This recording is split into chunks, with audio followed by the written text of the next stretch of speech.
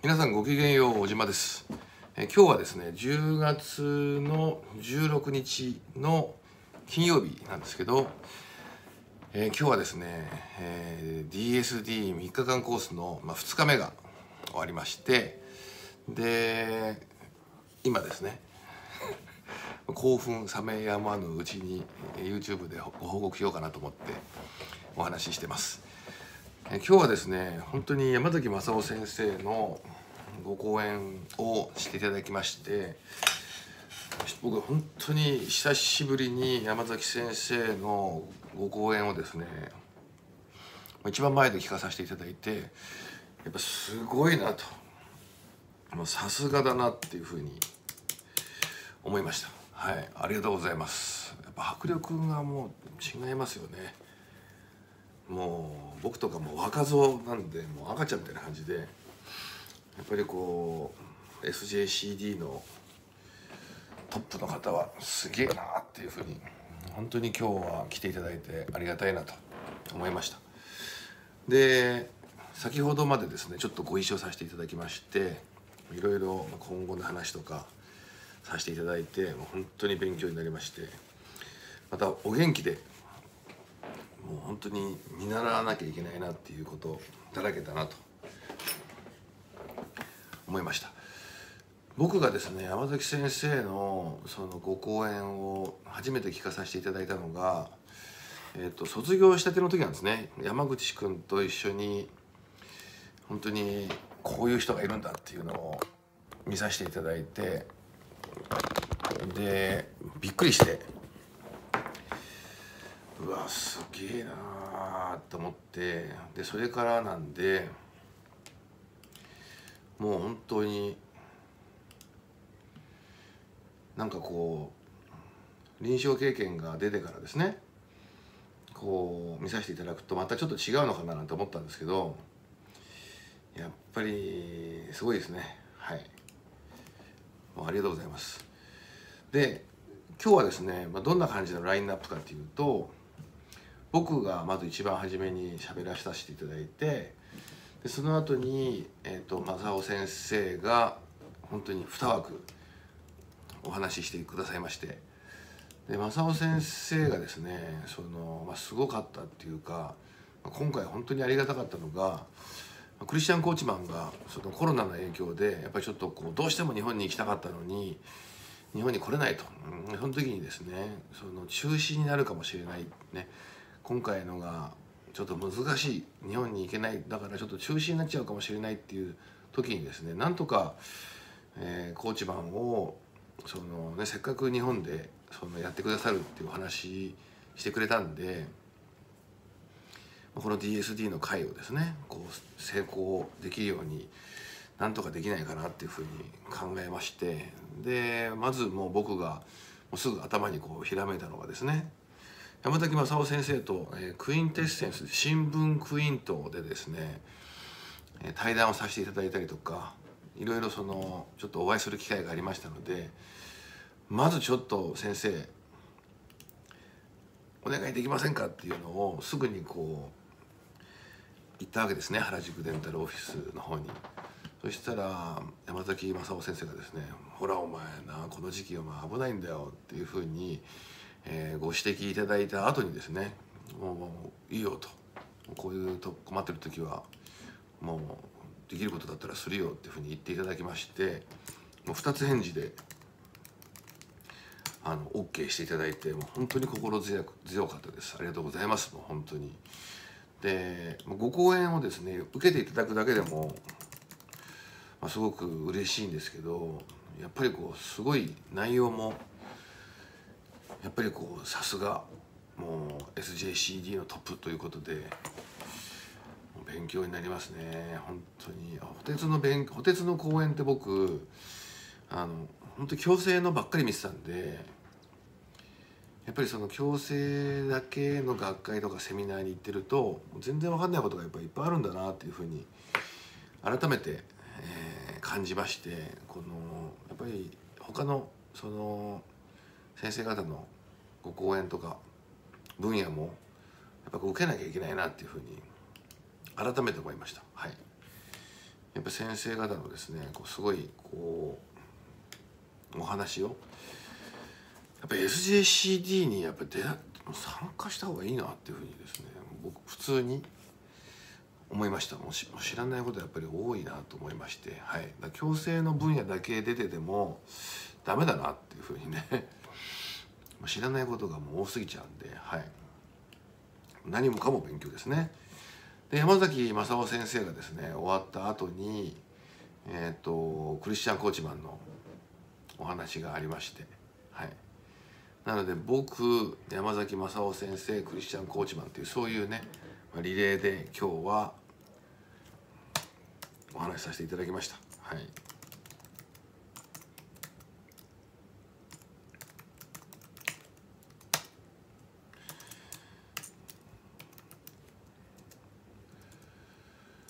コーチマンもね本当に時差もありますし遠いところから毎日やってくれて本当にありがたいというかですねあとご参加されてる先生方もま今回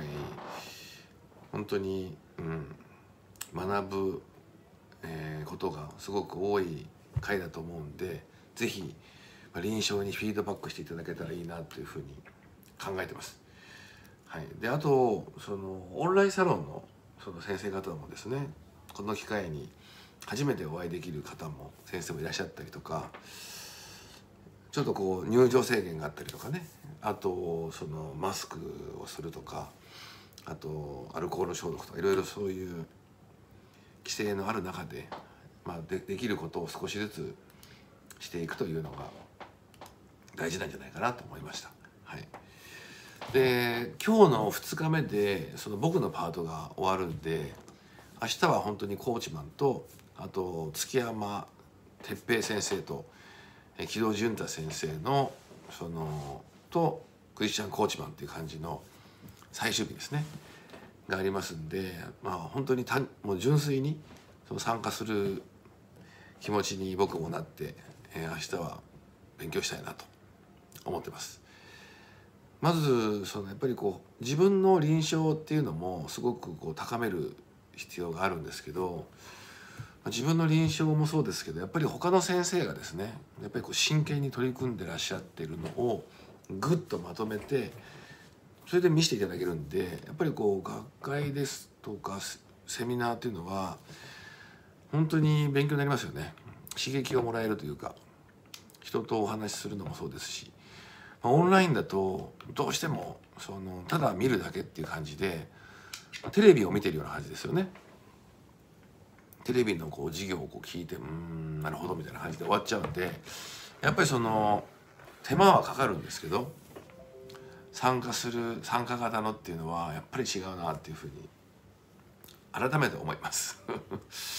古い古い人間なのかななんて思いながらですねで僕自身もですね今日うん気づいた点があこれしようと思った点がですね、まあ、8個ぐらいあったんですよ。あれしようこれしようあれとこれとこれをしようみたいな感じで。なのでやっぱり他の先生のこうお話を聞いてると集中して。でその会場に行くとやっぱ他の雑音が見れなくなっちゃうんでテレビも見ませんしね。あと電話もかかって電話もダメですし携帯も見れませんし集中してこうやって見てるっていうのは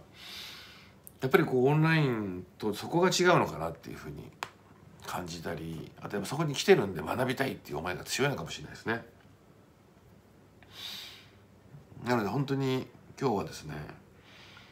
えー、山崎先生のご講演をこの僕の大学の時からの友達の山口君が左隣で右側に鍋ちゃんが座っててなんか大学の授業を聞いてるような「お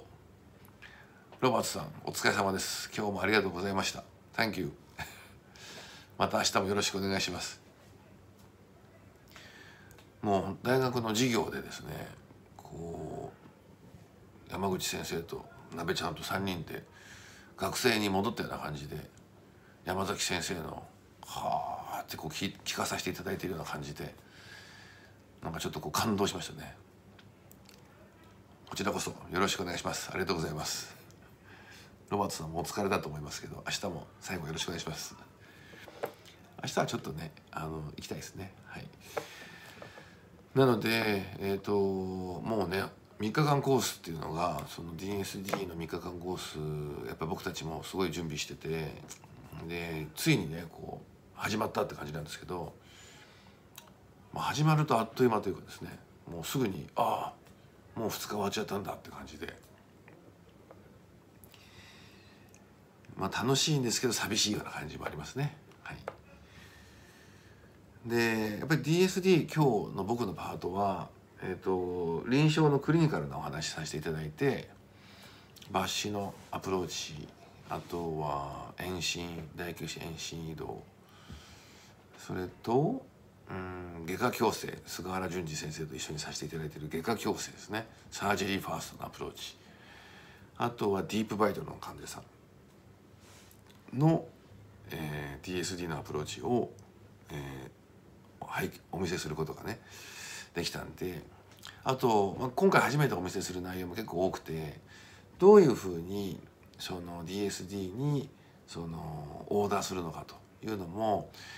えーと、こちらの、まあ、YouTube の方でもですねちょっとアップしようかなと思いましたこういうふうにするといいんですよみたいなねなのでそのぜひねそのいろんなその先生方のですね得意な分野みんな違うと思うんですけどえデジタルのそのプランニングっていうものをこうやって利用するんだみたいな感じでね是非使っていただけたらと思います。あとは YouTube で僕がこういうふうに、えー、話してる内容が結構ありますんで、まあ、それをこう聞いてくださってる先生方と直接こうお会いして、まあ、それも嬉しいですね。なんかこう普段僕が一方的に、えー、話しかけてる状態なんですけど対面でお話できるんでそれもすごく、えー、僕も嬉しいんで是非、えー、明日もですね会場でお会いしたらなかなかお話しする時間がないんですけどお声がけしていただければと思います。明日は本当に、うん、今日はですねすごくこう僕のパート、えー、が最後だったのですごくこう準備もしておりましたしあと山崎先生がねやっぱりこう来ていただくっていうのでこう皆さんこうピンとこうね昨日に比べて今日の方が皆さんこう背中がピッとこうしてるような感じがしてやっぱりもう迫力があるというかこうオーラがあるっていうかね。すごくとにかくすごかったですね。オープニングから。すごいなと。あとお昼休憩の時もですねちょっと山崎先生といろいろお話しさせていただいて勉強になることが多いですね本当に。うん。面白いと。やっぱりこう人と人とのこう出会いとかね勉強っていうのはすごく面白いなと。思いました。あと、まあ、DSD の、まあ、今回ねその DSD のそのオファーをそのしたい方がどうやって DSD のオファーをしていいのかがわからない。ね。サイトは皆さんご存知だと思うんですけどまあ、その詳しくそのオファーの仕方がわからないっていうねお話もよく聞きますんで、えー、オンラインサロンの方でこういうふうに、えーと、DSD の方に、えー、オーダーするんですよっていうのを、えー、あげようと思いますんでもしご興味のある方はですねこう下の、えー、概要欄の方にオンラインサロンの方のお話聞けるえリンクが貼ってありますんでそちらの方も是非ご覧ください。あと、えー、チャンネル登録もぜひよろしくお願いします。えーと、新しくねそのお知り合いになった先生もすごく多いんで、えー、ぜひねチャンネル登録の方していただいていい情報を配信できるように、えー、いたします。明日もですねその明日最終日で、えー、DSD のその月山哲平先生とあとは木戸潤太先生のお話もすごく楽しみで僕お二人のえっ、ー、とご講演って初めて聞くんですよ。木戸潤太先生とはですね34回お会いさせていただいてそれでいつもその木戸先生がこうそうですね前回は東京医科歯科大学で、えー、コージマンがですね講演させていただいた時の、えーと、適時通訳をされてたんですよ。でその次はうんルーケン先生がいらっしゃった時京都で DSD のご講演された時にも、えー、木戸潤太先生とですねその後東京にいらっしゃって、まあ、ルーケンと一緒にご飯食べさせていただいたりとか。あともう一回どっかでねお会いさせていただいたんですよね。なので3回以前お会いさせていただいてですけどご講演はねほんと初めて見るんでもう単純にまずそれが明日すごく楽しみかなと、えー、月山先生とね、えー、木戸先生の DSD をこれ交えたどういうアプローチをされるのかっていうのもすごく楽しみにしております。はい、それとコーチマンの最終日なんで盛りだくさんですね。はいえー、明日もですね朝から、えー、勉強させていただきたいと思いますので是非会場でまた皆さんお会いできるのを楽しみにしてます。えー、今日もですね最後まで、えー、拝見していただいて YouTube チャンネル見ていただいてありがとうございます。それでは皆さんごきげんようまたね。